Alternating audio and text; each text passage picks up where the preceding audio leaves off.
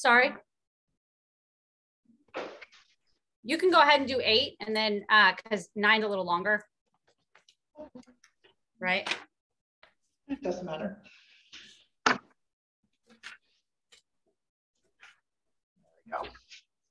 Oh, this is being recorded. I didn't know that. Okay. All right, so everybody's on chapter eight. Andres, if you can get there. Page one fifty-seven. Yes, page one fifty-seven.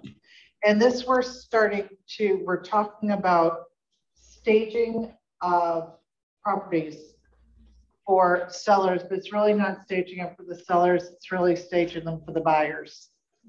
Because that's who's gonna buy your home. And I think that one of the things that's really important to know is, and all I'm gonna do is, I'm gonna go through this, I'm just gonna read my highlighted parts. Um, just because, no, so one of the things we have to realize that, that buyers, when buyers go into a seller's home, they typically have absolutely no ability to envision what that home is gonna look like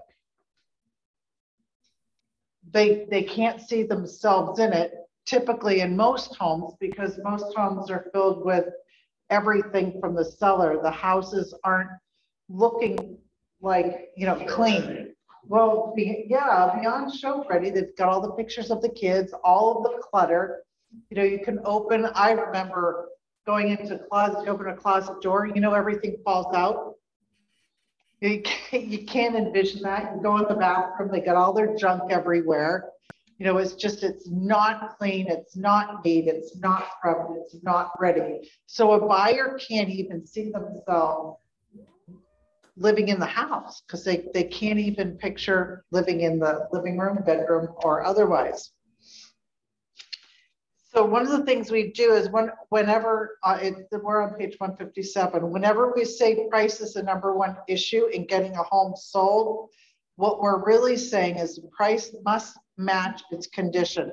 Price and condition are irrevocably intertwined, which is beyond. If you have a house that's an, even in a market like this, that houses are selling a little bit high, remember we're having some changes now, if your house is in terrible condition, can you really expect it to get the exact, a seller expect to get the same amount as much money as if you took that exact same house and it was perfectly staged, painted, clean, no clutter, ready to go? Which house do you think is going to bring more value to the seller and to the buyer? The cleaned up your one. home, right, your house is your, when you're selling a house, when you're prepping a house, when you go to a listing appointment, I always think of what is a buyer going to see when they go through that home? I know one of the things that we're doing in the coach with the coaching clients is we're going to be teaching you to walk through your home as if you're a buyer. So when you go through a home that's full of clutter and just horrible, what are you going to tell your seller? And then we're going to learn how to communicate that to your seller so your seller does get your house staged.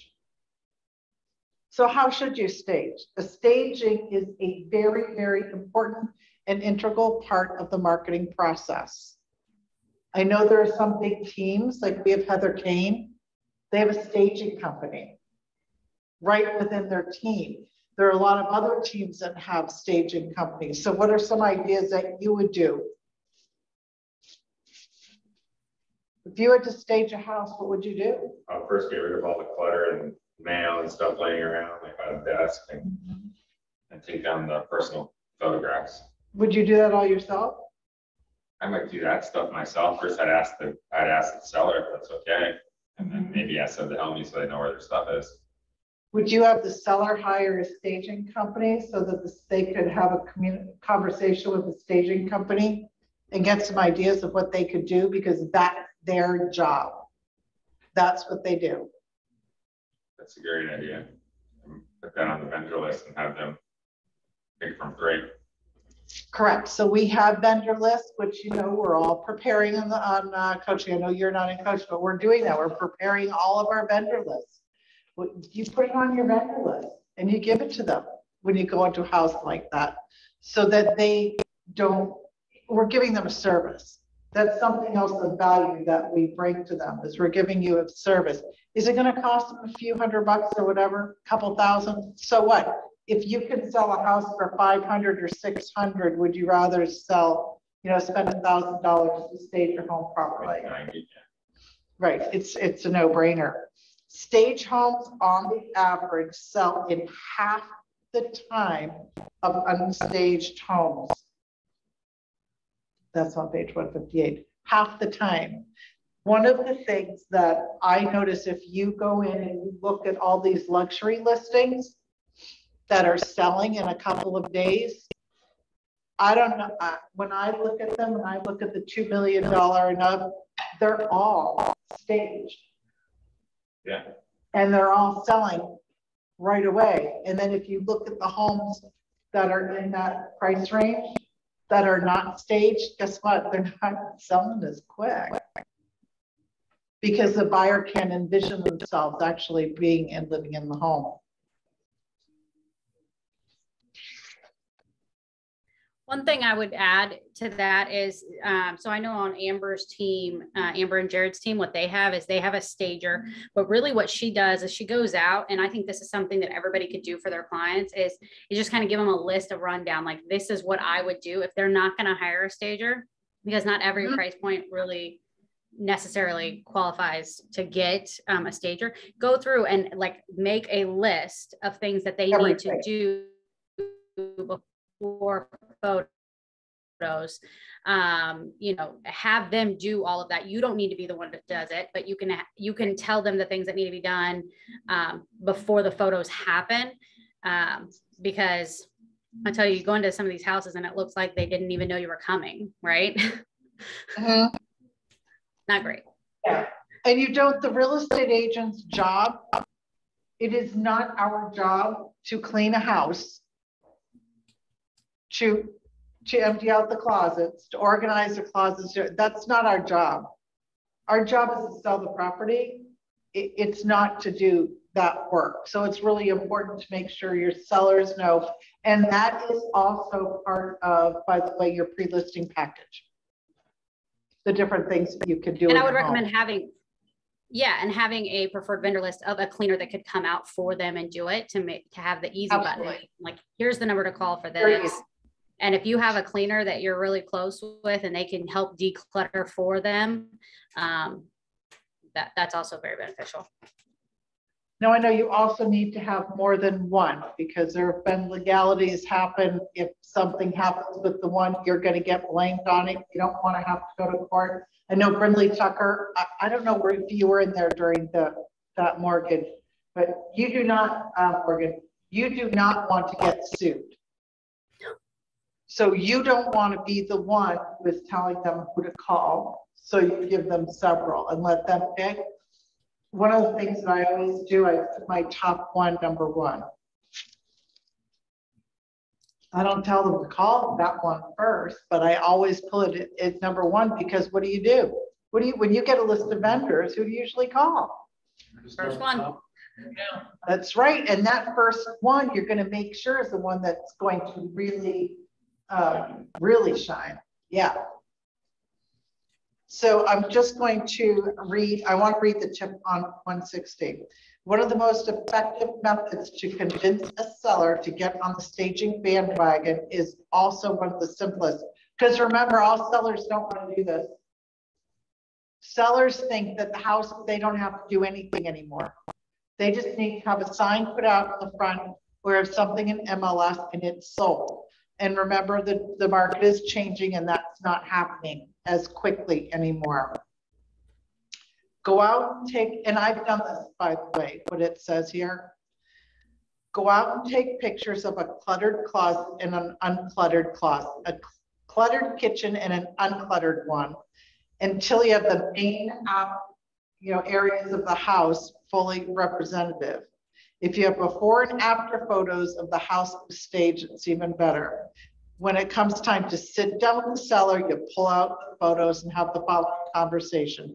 Mr. and Mrs. Seller, let me show you some examples of what I mean by staging. and you show it to them so that they can see the difference. Now let me ask you a question. Are things being equal? Which rooms and ultimately which home will catch the buyer's attention? So you know what's going to happen when you do those two. It's not going to be the one that's cluttered. It's going to be the one that's uncluttered. Typically, I'm not talking about investors, by the way. I'm talking about people who are actually homes, not something like that's turnkey or something like that. It's a different, total different property. A home must look like it is worth what the seller is asking. A seller will not get a chance at a first impression. When your buyers go up to a home, this we're going into curb appeal, when your buyers are going up to a home, as they're driving in the driveway, before they get out of the car, they already know all the things that are wrong outside. They're already looking at the landscaping. They're already looking at seeing all the dead grass. They're already looking at seeing all the rubbish on, on the walkway as you walk in. And then they go and they look at a really old door that hasn't been painted in, well, five years and is full of rust, just looks terrible. And that is the first impression that your seller is giving a buyer to your home.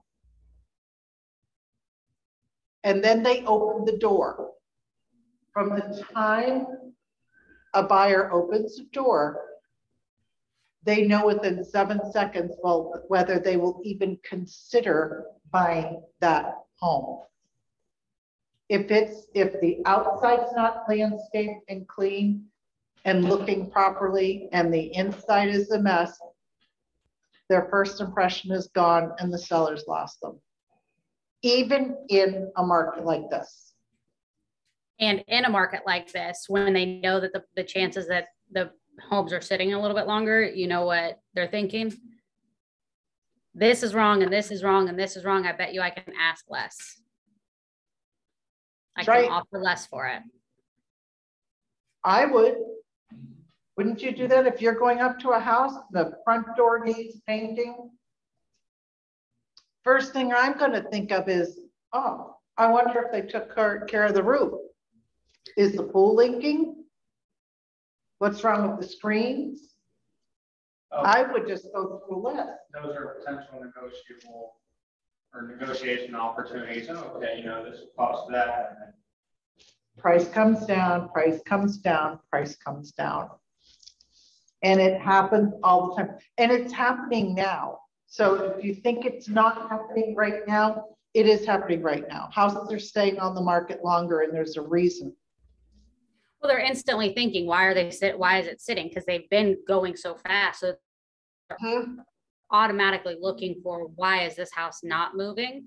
And they're going to look for why is it not moving? We know that it has a lot to do with the market.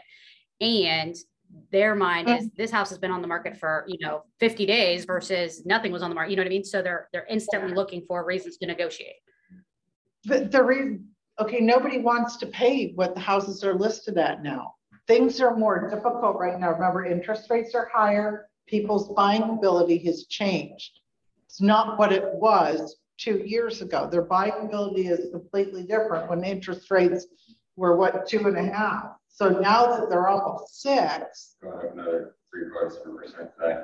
I know. So they're going up today. So now they're going even higher. And every time they go higher, their buying ability, their, yeah, it does diminish. And so when you have a house that's not staged and it looks like that, it looks like, and that's your first chance to bargain down the price and the seller's house won't sell. There is a graph on um, page 163. It has a curb appeal for an internet listing and um, flyers and cards. People still right now, and I know we learned this during, and I was so excited. You guys were, you were, I know Marion Taylor, you were there yesterday. I know Mark was there, but I didn't see the whole thing. Um, Brinley said this yesterday, and this really excited me. Do videos of open houses. Do videos of the house, you have the virtual, the internet listing, pic- you have the internet that you're showing that property on. Do you want to show a house that's cluttered and unkept and needs repair? What are people gonna think of you as a professional realtor when you're posting unkept, unwanted home on the market? And how are people gonna react to you professionally? I guess you lack standards and what you want to sell. You'll just sell anything. There's no reputation here. You Yeah. start we have a real diamond in the rough here. Yeah, diamond in Right, the rough. Yeah, diamond in the rough. It was seven hundred and fifty, it's now five hundred thousand dollars. So these are some of the things that you look at when you're looking at a house. You look at plantings. You need to make sure all the plants inside the house, they are not dead. I cannot tell you how many times I've gone into a seller's house and they have all this beautiful greenery that is brown. Mhm.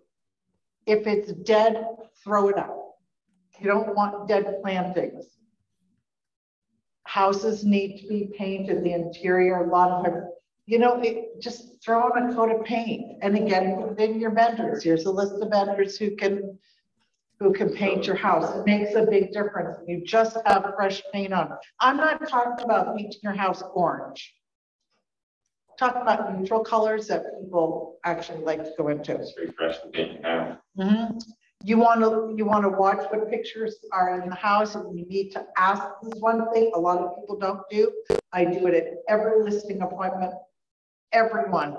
I always ask the sellers which pictures they want to have removed.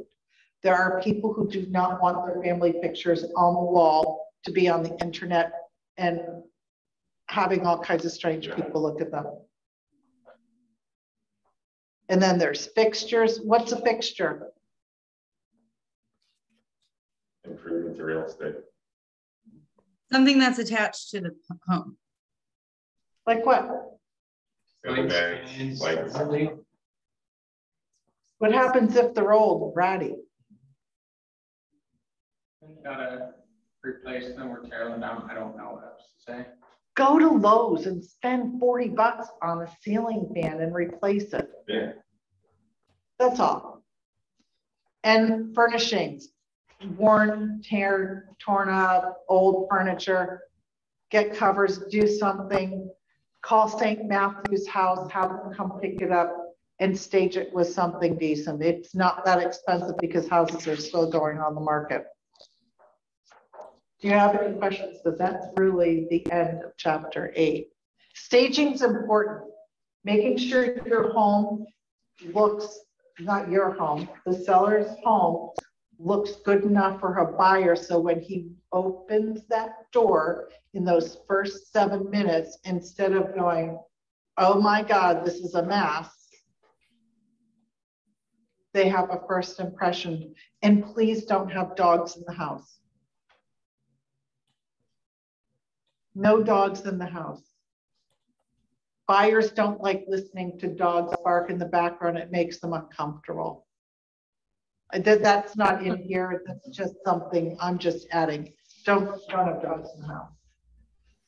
Well, one thing I hear agents doing a lot too is, well, A, you don't want dogs in there because then they're typically in a room and then they can't see that room or something like that. And then Sure. um, they're gonna instantly think that they can smell the animal and this and that. Um, also, having a lot less furniture than normal, even if they got like a temporary, um, you know, storage to just declutter and move everything out so there's less furniture, it'll make it look larger. And Because don't. most of us, we pack our house, right? We pack it. Right. And don't get a pod. Don't put a pod in your driveway. I had one of them on Saturday. Yeah, yeah, like, There's fun there and no, that just, what that means, when you have a pod in your driveway, when a buyer pulls up to your home, it means your home isn't big enough. You can't, a pod is a standard storage unit Oh, that goes right in your driveway. yeah, they'll, they'll come in just with a rollback truck. Right, And all, just- and you just throw your junk in. Go, go down, they're not, you know, if you have to have it for two months, so what if it costs you three hundred bucks just please, no pods in the driveway. Plus, it can ruin the driveway if you have, uh, the tile driveway. It can destroy your driveway. Morgan? All righty, so tactic nine, creating and overcoming buyer reluctance. Um, did, did everybody read these chapters? Because there, I mean, there's a lot in here. We're not gonna get to go through Oh, I- of. Um, so if someone is going down the wrong road, he doesn't need motivation to speed him up. He needs education to turn him around. So a lot of this chapter, um, is it- it's just jam packed full of stuff. So the first thing that we're going to go over is um, the diagram on 169. So there's an example where you sit down with your buyer or seller, um, buyer in this case, right? Um, that you are going to say, okay, you're going to create this graph. So if you look on 169, you're going to say, start your pencil. When I tell me I'm going to start going down, you tell me when the market's down. Okay. They're obviously going to miss the mark from when it's down. And then it's the same vice versa. You're going to take that pencil and start going up. Tell me when the market's at its peak. When they tell you they've already missed the mark. The point is, is you're trying to get them to realize that there's no perfect way to time the market. So the buyers right now are thinking interest rates are going up, right? What are they thinking? You you tell me, what are they thinking right now? They're gonna sit and wait in the hopes that home prices go down and mortgage rates go down. Yeah. Okay. Now, what do we know for sure? Say that again. Uh, they're gonna wait to see if the home rates drop so that the mortgage rate increase kind of balances itself out. Yeah. And does anybody have a crystal ball? Do they, do we know that the prices are going to drop 10% or 20% to match the increases that we've had? Nope. Nope. No. So, um, this exercise, it- you know, it, it goes through exactly what to say on how to do it in the next couple pages. So I would just practice it, like pick somebody and practice doing it so that if a, if a buyer is telling you, you know, they want to wait because the prices are going to go down, the whole concept is, is they could wait. But what happens if they don't go down, but interest rates continue to go up, right? Because it's a pretty known fact, right? Um, that, that interest rates are going to continue to rise. Like Yes, we're gonna see will. seven, we're gonna see seven percent here pretty soon, right? So if, are you really Yeah. banking on? What? Yeah, I, I mean, that's kind of, I mean, you say seven percent, but my very first house, house I bought was eighteen percent. Yeah, but the, the reality is, is So- the, the people that are looking to buy right now, keep in mind, they could have been looking since the percentage was three or lower, right? And so now you're thinking they're at seven. The homes that they were looking at at a three percent commission or a three percent rate and what they qualify for at a six or a seven is completely different. So it's, you know, when we say they're going to get priced out of the market with interest rates going up, it's really kind of sad, right? Because they were looking at a price point that they can't afford now. And now they're not going to like it. They're not going to like the price point that they're looking at now, right? So that comes back to you got to find them motivated and, and all of that. And yet, this is a good exercise because the whole idea is, is that you cannot price it perfect or time it perfectly.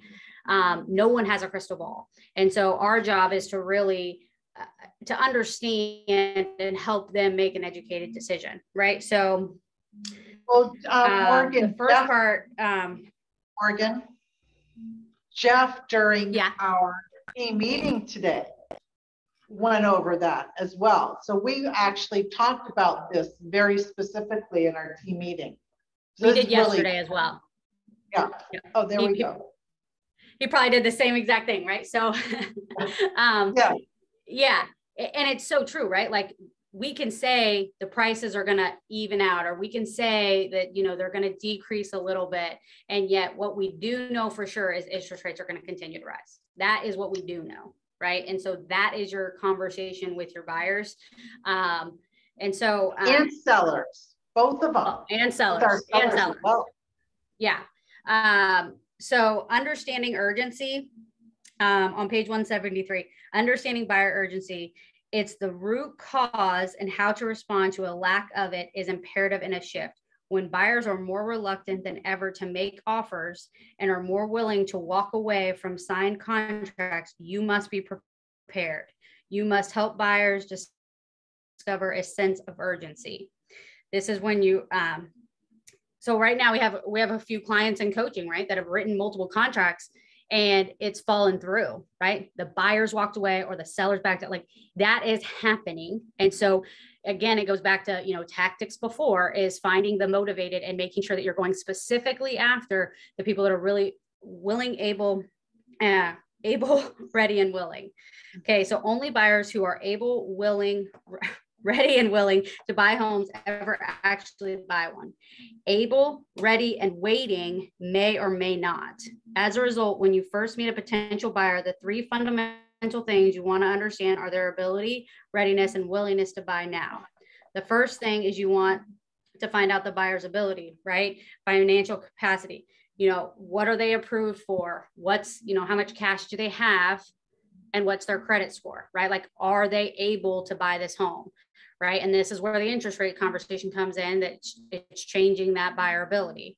Second, you want to know their readiness to buy, the personal reasons that they're motivating, it's motivating them to buy a home, right? So if it's, um, I mean, there's different motivators, right? And some of them may not be urgent enough to make them make a decision in a shifting market. So that's where we come in and we say we have to ask a lot of questions and find out and let them know what's happening because they are going to be very reluctant to make a decision because they're saying, well, if I wait two months, will the homes be down 20%?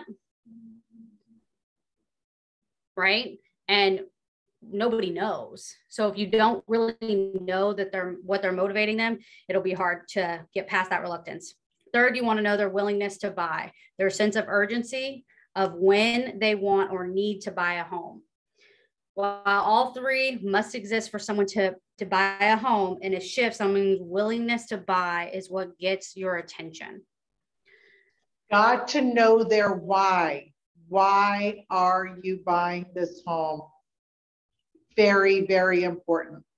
And right now, you guys, I mean, a lot of people's motivation, if they're renters, rents are continuing to go up like significantly. So a lot of people are looking to buy just because their rent's going to go up higher than most mortgages. Mm-hmm. Right. So that could be a huge urgency for someone, but it, it's again, it's about finding what that is for them. Um, motivation. So the willingness really, you know, when it comes to the market expectations, it's are you willing to like if they're not willing enough and they're unsure what the market's going to do that's where you're going to work and work and work with them and they're never going to pull the trigger. Ever. Right? Ever. They just won't. They they're going to let you think oh i'm ready i'm looking it's just not this one oh let me think about it um, let's just keep looking at more and yet you really got to find out and it goes on to talk about you know their actions speak louder than words right? Um, you'll you'll get a sense of if they're really well willing and able um, to buy. Um want to make sure we have time to get to all this stuff. 178 three ways to energize urgency. Um, one become the local economist of choice. What does that mean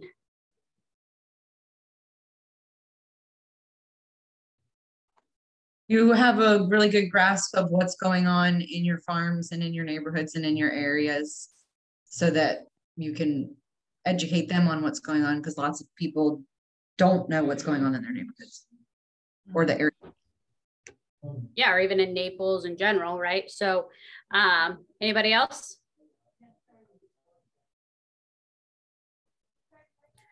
So one thing i would say is going to like Jeff's uh, broker update classes, right? Uh, letting you know what the market's doing and let leaning on the pro who knows the numbers and knows where to look to start learning how to, if you're not familiar with what to actually start learning about, um, learn from learn from other agents, learn from Jeff. Um, what should you be looking at? Um, I do like how it talks about that. I think it's a little bit later in here. It talks about the buyer list. And to me, that's being the economist of choice, right? You always being on the lookout, always knowing what's coming, what the market's doing, why houses are sitting, how long they're sitting in certain neighborhoods, things like that. Because you do that for your sellers, but you don't do it for the buyers, right? And so it's just a little bit shift in mindset. Most agents don't, is what I mean, right? Um, so when you look at it and you say, okay, um, I always have when when somebody's ready to sell, I I pull I pull CMAs and I do I look at what the market's doing so that I can give them a you know comparable prices and homes that went in their area. Why are we not doing the same for the buyers?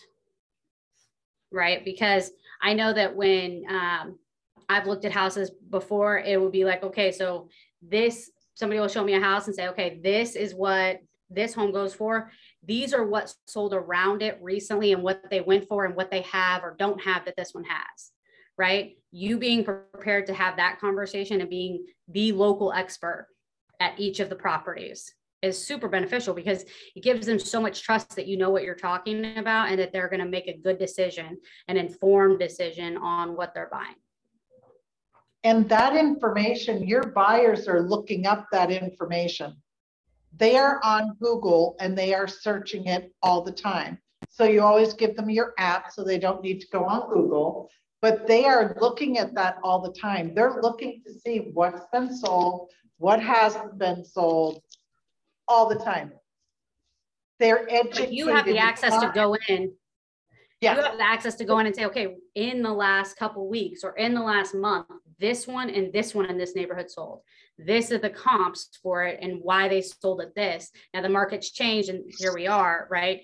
Um, I know that when agents have done that for me in the past, it's made me know that like this is somebody that knows exactly what they're talking about and i'm gonna i can make a decision confidently based on what they're telling me Yep.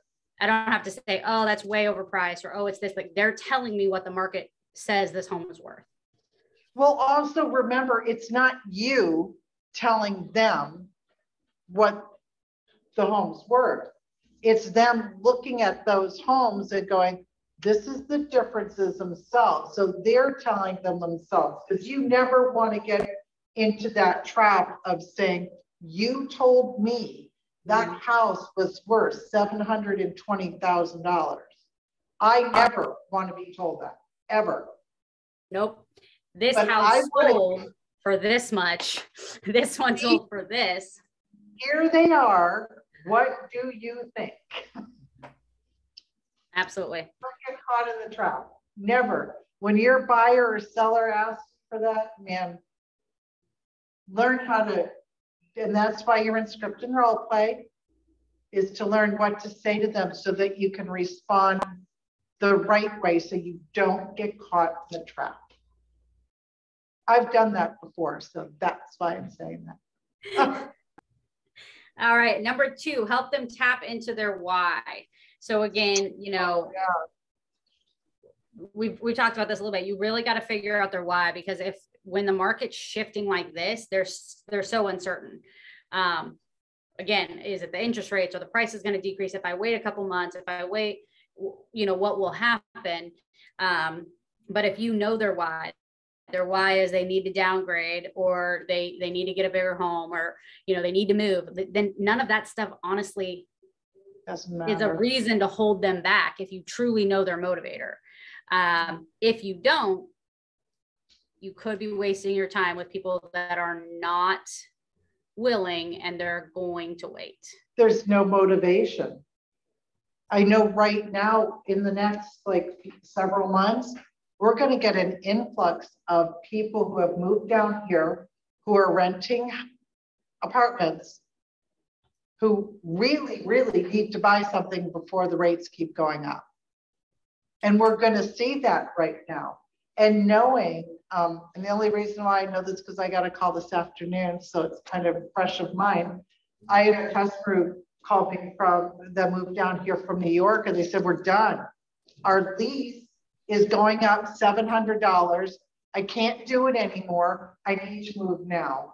That is huge motivation for you as a realtor to find something really fast for them to go into, fast. So you need to listen and because that, you don't want that motivator to change. No, exactly, You don't want them to Fast, yeah. second guess it. Fast. yeah. All right, and then three, address their buyer reluctance, which we, we've been over. Um, Mhm. on one eighty, if you want to be the buyer's agent, know every home for sale in your marketplace. And that just goes back to being a local expert, right? Just making sure that, um, you're at the top of of knowing what's going on, because they, will see you as the expert and they'll trust you and it'll be so, so much easier for them to make a decision when they do feel like they can completely trust you. Um. All right, so the big chunks of this is on page one eighty-eight. So the four strategies to overcome buyer reluctance. So number one, why wait? The hazards of timing the market. Um, I know some of this is like all kind of sounds pretty redundant back and forth um, in this tactic. Um, but when buyers choose to wait until prices come down more, are also gambling that interest rates will hold steady or drop, which we know is not the case in what we're seeing. The the, the So consumer Morgan, what you just said that right, what you just said right there. This book was written in, in two thousand and eight. Mhm. This was written in two thousand and eight. This is twenty twenty-two. And right now, we have buyers who are waiting for interest rates to hold steady or drop. And this is in twenty twenty-two. So this is very, I mean, this is very, very relevant. That is going on today, right now. All over, all over the United States, everywhere. Which is crazy. And it also goes on to talk everywhere. Yeah. It All is. over. This whole book is still so applicable. I I mean, it's pretty crazy. I was watching some uh, YouTube videos on a couple of the tactics earlier in the week, and it's so funny. Like they're a couple years old, and yet, you know, they might be two So years old. A lot of people did videos on tactics um, right when we shut down for COVID. Right, everybody was going into the shift, and and it was funny because it did exactly the opposite of what we thought it would do, um, Mhm. and yet the book is still so applicable no matter what the market. Okay, so Yep. the next part I want to go over is um, so the interest rates, the figure 47 on 189. So are you familiar with um, the, the concept that even um, a 10% drop in home price um, is equivalent to a 1% increase? So what we've seen for the last two years is prices continue to go up and interest rates just recently started going up, right? So what we have to look at is, do you know how to look at what the what the difference in home prices? So like, um, there, I mean, there's this chart, buy now or wait, right? Um, and it goes through, but I want to show you something. Um, and you might remember this from when Adrian did it at a meeting, uh, I don't know, like a year ago when interest rates started to. I remember this. Okay, so I'm gonna, this to me was one of the most powerful things that I, I've seen Adrian do. And I think it's so applicable now because I'm gonna be able to go from three to seven to show you the difference in the price point. And if, if you need help with this, I'd be happy to help you with it later. Um, but so let's say they're approved for five hundred thousand. Okay? At a three percent, can you guys see this? No. No? No, but we can hear. It's okay.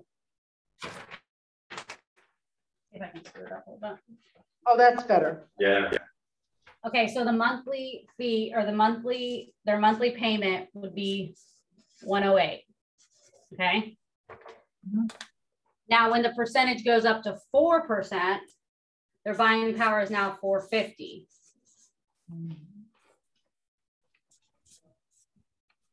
Their monthly payment one forty-eight. So one percentage but you're staying around the same price point or the same monthly. Because the whole point of this is You, you have to focus on the monthly that they can afford because this will change depending on the percentage, right? Mhm. So four oh five becomes their buying power at five percent.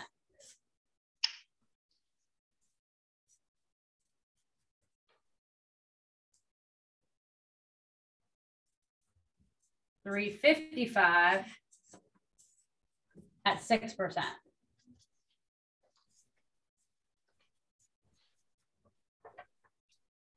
So this is where we're at right now, right? Mhm. Look how much it's How long dropped. ago was it three percent? How long ago was it three percent? Not that Less than a year. Less than a year. Yeah, not that long ago. So if somebody who wasn't able to buy because they kept getting outbid, because five hundred thousand in Naples is still pretty low, right? And price point. So they weren't able to buy because they kept getting over, you know, outbid. A year later, and so they took a break or they just paused because it was exhausting for them, right? Now we're at six percent. So the homes that they were looking at at five hundred thousand is now at three fifty-five. Now, here's the thing, you can't really buy in Naples a single family home for three fifty-five, like. It's just not going to happen. Um, and so right now, you're going to have a lot of buyer reluctance. You're going to have a lot of it, especially if these people were already looking. Okay, for Naples. Now, if they wait even longer, you're looking at 310 yep. at a 7%. That's hundred and ninety thousand dollars difference from when they started a year ago in just one year. So you're completely priced out of Naples. Totally. I mean, you were barely in Naples here. Right?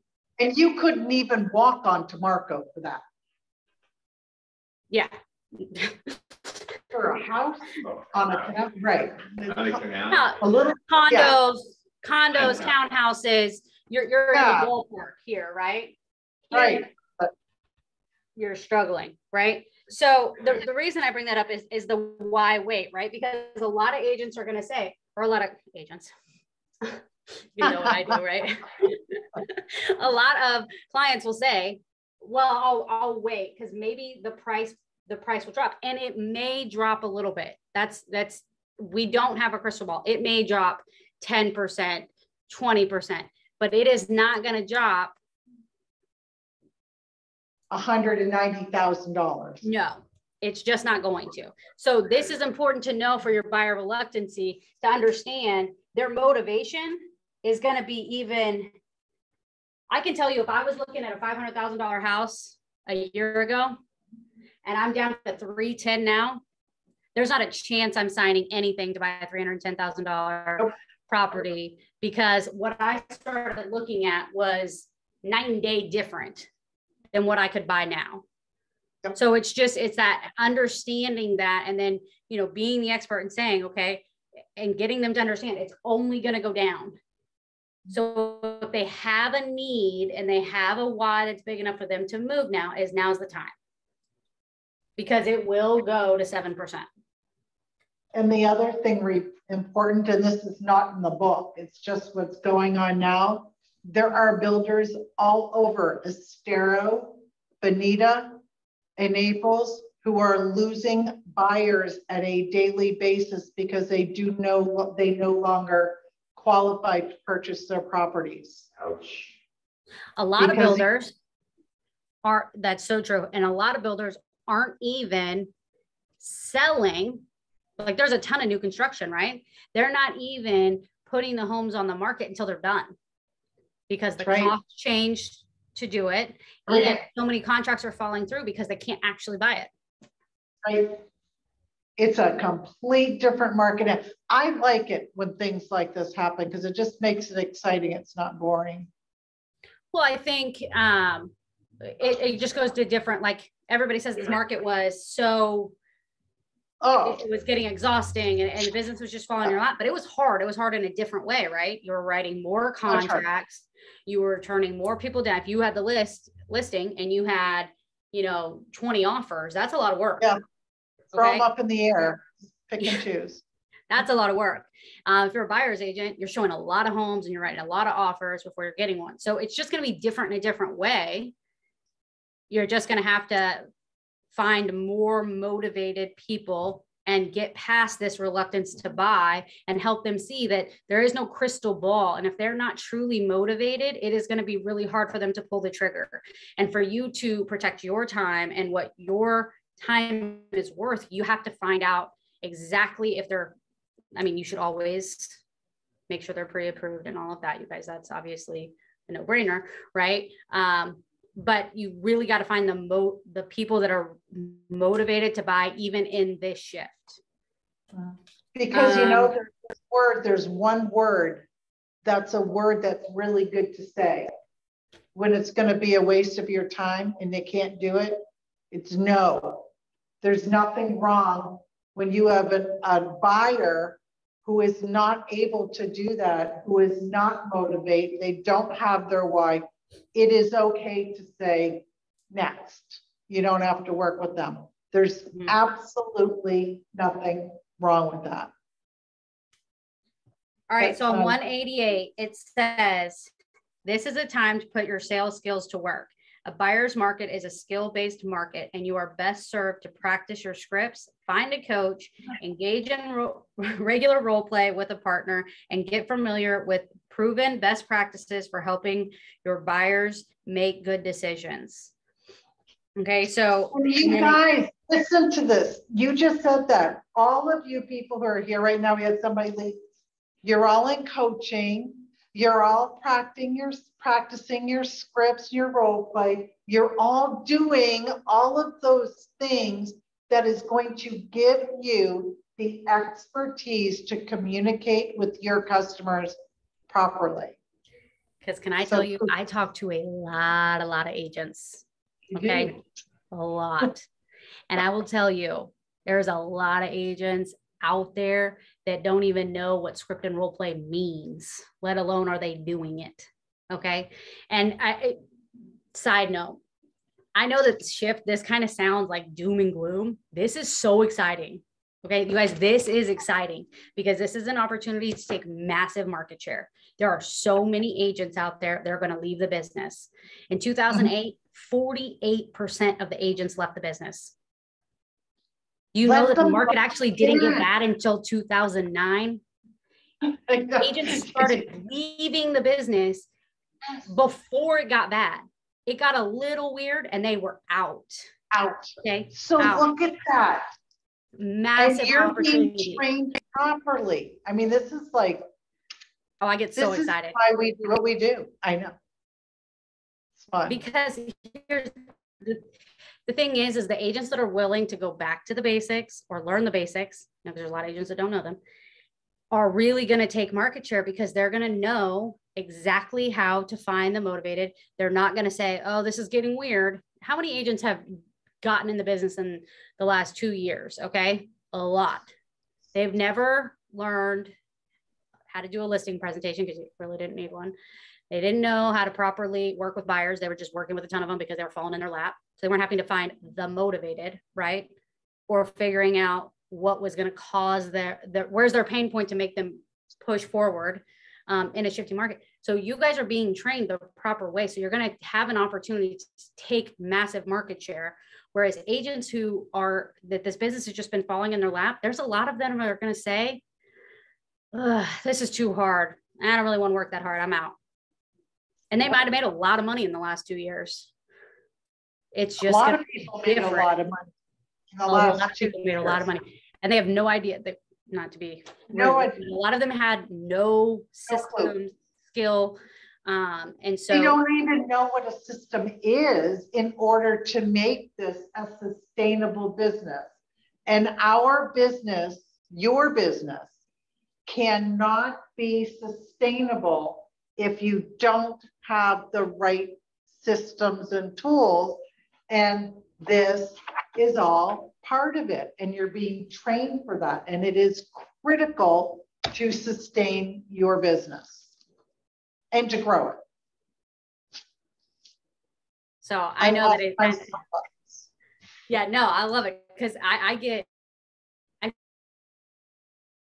talk to agents and I'm like, do you need leverage? Do you need support? Do you need systems? And they're like, I don't even know what you're saying. Like they truly don't even know what I'm talking about, right? They're just flying by the seat of their pants and they have no work life balance. They're just going, running around with their hair on fire and they're making, they were making money. Well, it's going to slow down because if they have no systems in place, those people are not falling in their laps. Not anymore. It's different. It's not the same now. So just so you know, on the national level, we've already seen agents leaving the business and on a local level. I'm gonna have Jeff pull the numbers and I'll post it. How many agents have Yeah, left? you should pull that. That would be good to do. Yeah, because I'd even like to see Nabor is seeing a decrease in agents. I met with an agent today. He actually joined us. So when you meet Victor, say hello. He uh he said that um he took his class in December and even agents that were going through the process that like they said, well, the market's starting, you know, I, I've, I've changed my mind. I'm not going to do it. They went through the course, they passed the test, but they didn't even hang with the brokerage because they, they didn't want to do it. Right. So you're already starting to see that when we were seeing tons of people getting their license and tons of people coming into the business. Um, so for those of you who want to plug in to the systems and models, it's gonna be exciting. All right, so on page, okay, so I, I, I just looked at the time. We have seven minutes, okay? I know. Um, One, um, okay, so number two, trade up, the opportunity of a down market. Um, so this kind of trade up is often, so you're looking, I'm looking at page uh, 190 on figure 48. Um, this kind of a trade up is often exact same strategy employed by successful real estate investors. So it's talking about falling home prices are a great opportunity for a savvy homeowner looking to move up. Even though your home price may be lower, the smaller loss of sale can be compensated by a greater savings at the purchase. So when we do see those prices decrease, you will see people. So just know this when prices start to go down, because so like Jeff told us, I don't know if he told um, you at your meeting today, he told us people are starting to see. Okay, so people are like they're they're gonna hold. They didn't want to sell because they had nowhere to go. Mhm. Now options are becoming available, and so people are starting to list more. Now, what's going to happen when the price decrease? You're going to see people say, "Oh, price decreased, but my house still worth more money than it was a year ago. I'm gonna There'll be something up. to buy. I'm gonna trade up because I can actually move somewhere." Right. Um, There's inventory because the inventory is increasing. I think I noticed in Naples, there's like two point three months of inventory. I was so excited. We're not like that yet on Marco, but that was like, okay, it's starting. It's really starting. Yeah, it is. It is exciting. Fun. I mean, Yeah. that's a big deal. It's been a while. It's been a hot minute. We've had that much inventory. um, okay, so when a buy, when you buy a larger or better home, you are saving more on the purchase than you may have lost on the sale uh, of your previous home. And a new home is often better positioned for appreciation when the market rebounds. So just having that knowledge and knowing that when the prices start to come down, even 5, 10%, it's a great conversation to have with people who said they might have sold, but they didn't because they had nowhere to go. So just keep that in mind as this starts to slow down. Um, on page 192, this talks about that buyer list that we kind of talk about. Um, So um, less is more, narrow the field. Uh, I love how it talks about um, what does that mean? When you have client when you have agents that are or when you have buyers that are wanting to look at 50 homes they're not even going to remember 50 homes okay? So you go and you create what you think is going to be the best for them because you're just going to confuse them.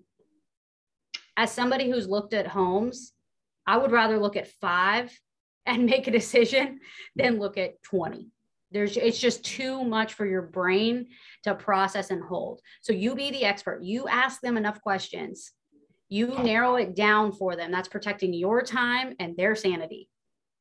Right? Because if you show them as many homes as they're going to want to see, you will confuse them and they will never make a decision. they will be so overwhelmed by the options that they won't even know. Right. So you be that expert. You ask enough questions to know exactly what it is that they're looking for so that, that you can pick the best ones for them. And that was part of Brinley's class yesterday. And I think we're all getting the um, slides of that. That was, well, the people who are in the class are getting them. That was part of her class yesterday. This going and showing people 50 houses is over. You don't need to do that. Yeah.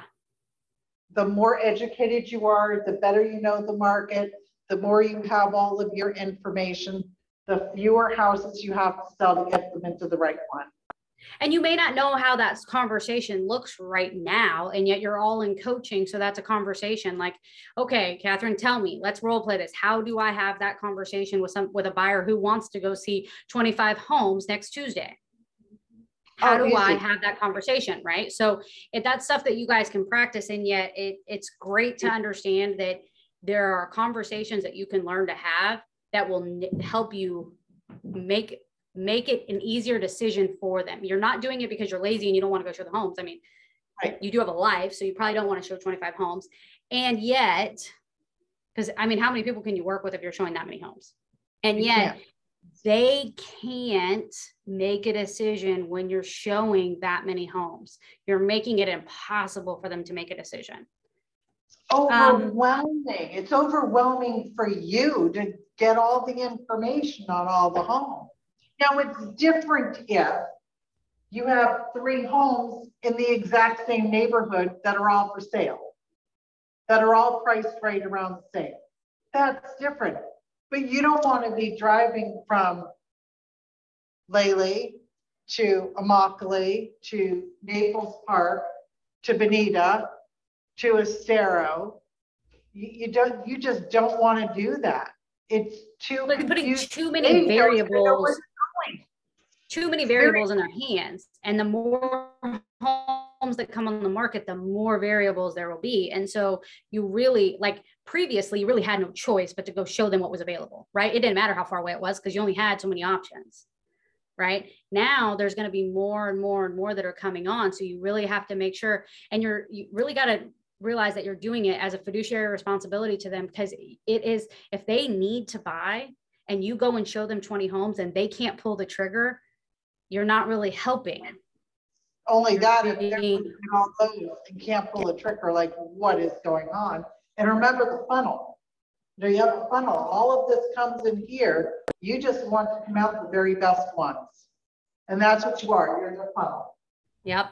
All right. So last thing, because I do have to jump off. Um, here's the point. You can't create urgency if there isn't a good reason for it, and you can't. You certainly can't fake it. Buyers can see through false optimism and mul- manipulative selling te- techniques almost every time. And when they see it, they lose faith in you and the market. You must find real, honest, and compelling ways to help them feel optimistic about the market and comfortable with you as the expert guide. So, no commission breath. We're trying, we're truly the fiduciary. We're here to help answer any questions they have. And you start with by being the local expert, knowing the market, and being honest with them and narrowing it down for them. If you are doing your responsibility of asking enough questions, you should be able to narrow down 50 homes to five or 10 easily. And if you need help, you got a coach. Ah, and you know what? You, nobody's gonna sign a buyer loyalty agreement if you don't look like you know what you're doing. Absolutely. All right, guys. Thank you so much. Everybody have a great day. Thanks, Morgan. Bye. Thank you, Catherine. You're welcome.